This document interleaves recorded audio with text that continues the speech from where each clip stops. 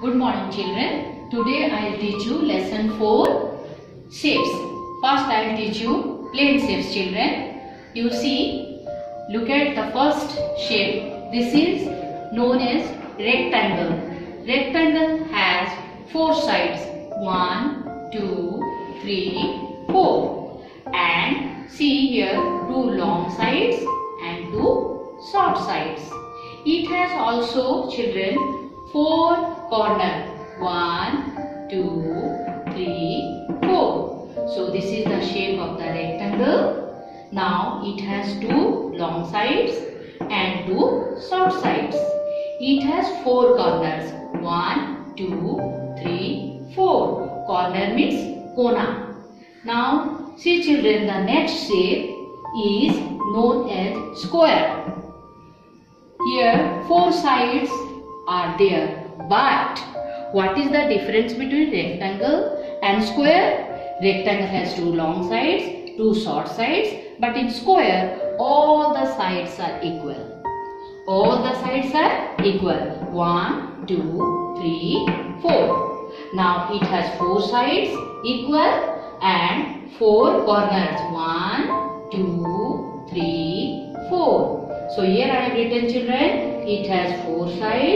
They are all equal. That means four sides are equal in length. Now next number two, it has four corners. Which one I shown you? One, two, three, four. Now the third shape is triangle. Triangle means three sides. Triangle. Angle means corner. One, two, three. Three corners and three sides. One, two, three. So I have written here this is known as triangle. It has three sides. How many sides children? Three sides. One, two, three. And it has three corners. One, two, three. Why it is known as triangle? Because tri means three, angle means corner. So triangle is known as triangle.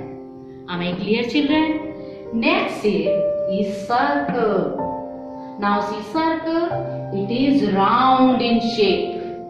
It is round in shape. It has no corners. It has no corners children.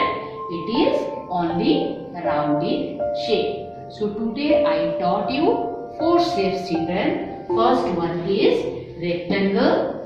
Second one is square. Third one is triangle. Fourth one is circle. Now before that I should tell you that from this shape we are which value, which dalmia core value we are learning children? Growth mindset. What is the definition of growth mindset? Students with a growth mindset believe that their intelligence can be developed over time through their own effort. The growth mindset helps children focus on their effort. Children, when you will do, you will your notebooks or work hard or you will apply your intelligence, your mind will grow and you will learn more and more. So children, here we learn four shapes. Today I taught you four shapes. Rectangle, square, triangle and circle. So four shapes, plane shapes I taught you.